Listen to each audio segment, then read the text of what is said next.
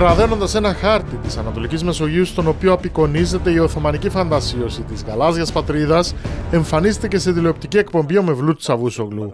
Ο επικεφαλής της τουρκικής διπλωματίας δεν παρέλειψε μάλιστα να εξακοντήσει και τις συνήθεις τουρκικές απειλές, προειδοποιώντας με βήθηση όποιος σκάφος εισέλθει εντός της τουρκικής υφαλοκρηπίδα, όπως χαρακτήρισε την περιοχή που Άγκυρα και Τρίπολη θεωρούν ότι τους ανήκει. Η συμφωνία με τη Λιβύη είναι σύμφωνη με το διεθνές δίκαιο. Μπορούμε να κάνουμε σεισμικές έρευνες με τη Λιβύη. Η Ελλάδα και η Ευρωπαϊκή Ένωση δεν έχουν δικαίωμα να αποφασίσουν για τα ζητήματα αυτά.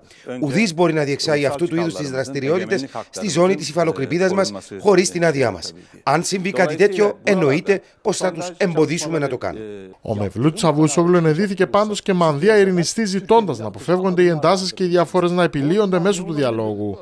Πλήρω ευθυγραμμισμένο με την Άγκυρα, ο λεγόμενος πρωθυπουργός του ψευδοκράτους Ερσίν Τατάρ κόμπασε ότι η Ελλάδα και η Κύπρος έχουν απέναντί τους ένα μεγάλο τουρκικό κράτος. Εάν κοιτάξουμε το χάρτη, η Τουρκία πραγματικά έχει επιχειρήματα και μεγάλα δικαιώματα και η Τουρκία έχει τέτοια δύναμη που θα υπερασπιστεί και τα δικά μας δικαιώματα και τα δικά της. Στο κάδρο των απειλών του Υπουργού Εξωτερικών της Τουρκίας βρέθηκε και η Ουάσιγκτον κατηγόρησε συγκεκριμένα τις Ηνωμένες Πολιτείες ότι χρηματοδοτούν την τρομοκρατία για την υποστήριξη που παρέχουν στους Κούρδους της Συρίας. Και πρόσθεσε ότι αν οι Αμερικανικές κυρώσεις συνεχιστούν και επεκταθούν, τότε η Άγκυρα θα κλείσει την αεροπορική βάση στο Ιντερλίκ.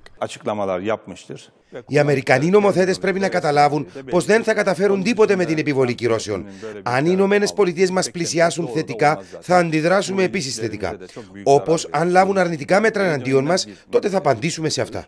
Προηγήθηκε χθες το τουρκικό Ρεσάλτο στο ωκεανογραφικό σκάφος Ocean Link, το οποίο έπλεε στην αποκλειστική οικονομική ζώνη της Κυπριακής Δημοκρατίας.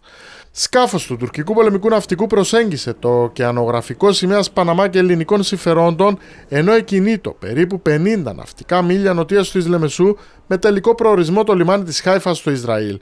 Ο Ελλαδίτη καπετάνιος του ερευνητικού αναγκάστηκε να κινητοποιήσει το σκάφος του. Για την παράνομη νιοψία, οι Τούρκοι προέβαλαν την αιτιολογία ότι το σκάφος έπλεσε κοντινή απόσταση από το πλωτόγειο τρύπανο Γιαβούς, το οποίο βρίσκεται παρανόμως εντός του Κυπριακού Ενεργειακού Τεμαχίου 7.